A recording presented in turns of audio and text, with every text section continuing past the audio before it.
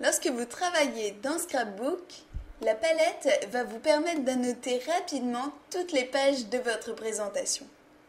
Pour vous montrer l'étendue de ces fonctions, nous allons rapidement créer un exercice de mathématiques.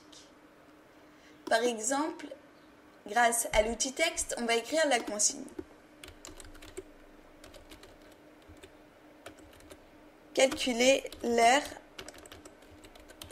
de ce rectangle.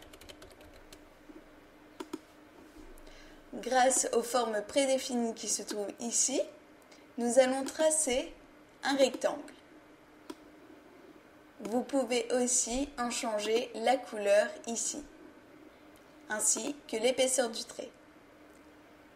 Grâce à l'outil crayon, nous allons écrire les dimensions. Par exemple, 5 cm sur 6 cm.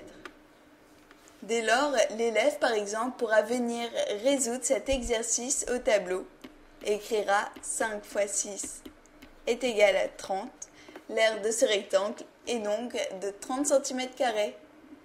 Si vous souhaitez effacer les annotations, vous pouvez utiliser l'outil gomme. Comme ceci.